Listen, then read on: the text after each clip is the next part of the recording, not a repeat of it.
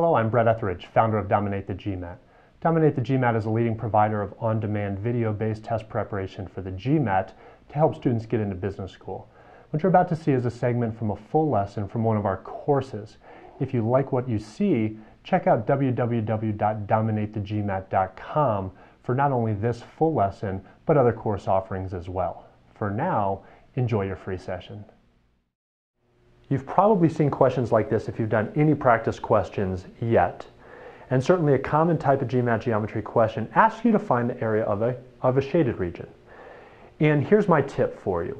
The best way to find the area of a shaded region is to essentially subtract out what is calculable and whatever's left over is that shaded region. In other words, you want to think about shaded regions on the GMAT as leftovers. Uh, funny little cartoon here. Gosh, socks, seems all we got is stale water and leftovers.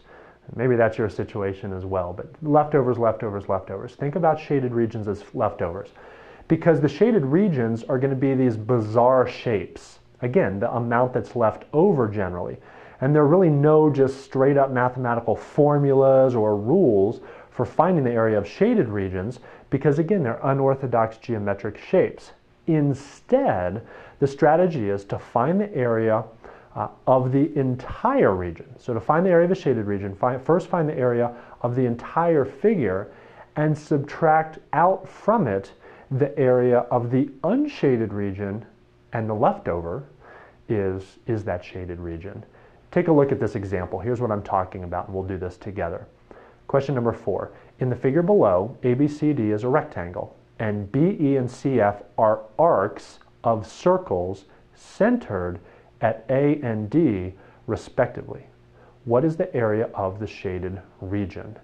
And then you have your answer choices. Give this a try based on what I just taught you.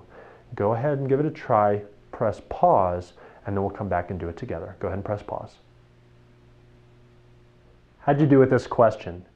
Hopefully you followed the rule I just taught you. Because to find the area of this shaded region, there's obviously no clear mathematical formula for that bizarre shape in blue, and yet we still need to be able to solve it, and we know that it's going to be the leftovers. And what does the rule say?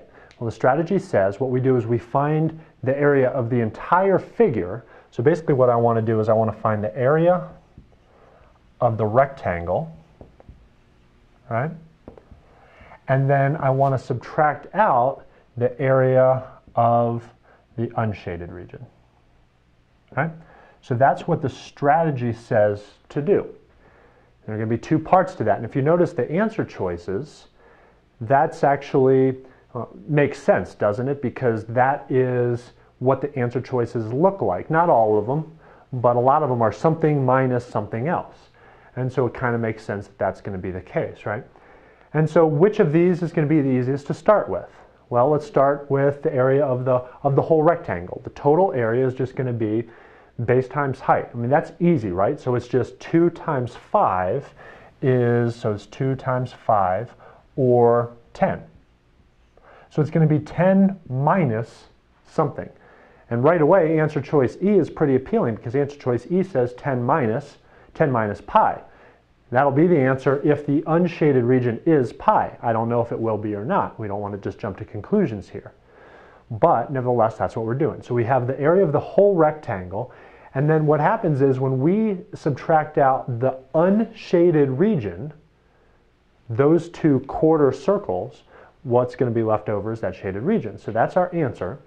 Now the question though is, what is the area of those unshaded regions? And the key lies in the question saying arcs CF and BE are arcs of a circle centered at D and A. In other words, if we were to kind of complete the circle, I'm not going to draw it because it'll kind of mess up what we're doing, but the whole circle is centered there at D. And so when we are seeing that arc, really what we're seeing is one quarter of a circle. Does that make sense? And then same thing over here. And actually, if we add those two things together, that's half a circle. That unshaded region plus that unshaded region would be two quarters of a circle or a half a circle. Does it make sense? And so we know what to do with that, right? Because the area of a whole circle is pi r squared. Does that make sense? If we had the whole circle, it would be pi r squared. But the unshaded region is just half of that circle. So what we want to do is just 1 half of pi r squared. And then what's radius? Because now we know what we're looking for, and this is how you want to use your scratch paper. And if you weren't seeing where to go with this, hopefully now you're seeing it, but here's the point. I'm just writing down kind of what I'm seeing. Well, I know I need that. What's that? Well, here's a formula. Okay, now I'm there. What's R? Oh, that's what I need, right? So now I can start to explore what R is. And maybe you don't see it, but now we can search for that. What would the radius be? Well, if this were the whole circle, right? All the way kind of around here, what's the radius? Well, being given to us because the center A would be the center of the circle. That means that 2 would be the radius, right? So we can just kind of plug 2 in for radius. So what's 2 squared? 4. So it's 4 pi over 2 is just 2 pi. And there's our answer. The area of the unshaded region is 10, the area of the whole rectangle, minus the unshaded region, and what's left over would be the shaded region. So we go to the answer choices. It's not there. It's definitely not answer choice E, because it's 10 minus 2 pi, not just 10 minus pi. But which is the answer? we need to make this somehow look like one of those. And hopefully looking at the answer choices will kind of tip you off to what we can do, but we just factor something out. That's what the answer choices, most of them are doing anyway, right? So what, what can we factor out? Well, what do they have in common? They have a 2 in common. So it's 2, we'll factor that out, times 10 minus pi, right? Uh, um, sorry, 2 goes into 10 five times, so 5, uh, 5 minus pi. That's the exact same thing. For whatever reason, the test makers wrote it up there that way. The answer is D. We had to make our answer look like their answer, but hopefully you know how to do that. If not, now you do. You simply factor out what they have in common. So, hello again. Hopefully you found the information in that segment helpful. If you did, just imagine how much you would learn in the full lesson, or better yet, the full course. If you like what you saw, check out www.dominatethegmat.com for our full course offerings. So thanks for watching and go out and dominate the GMAT.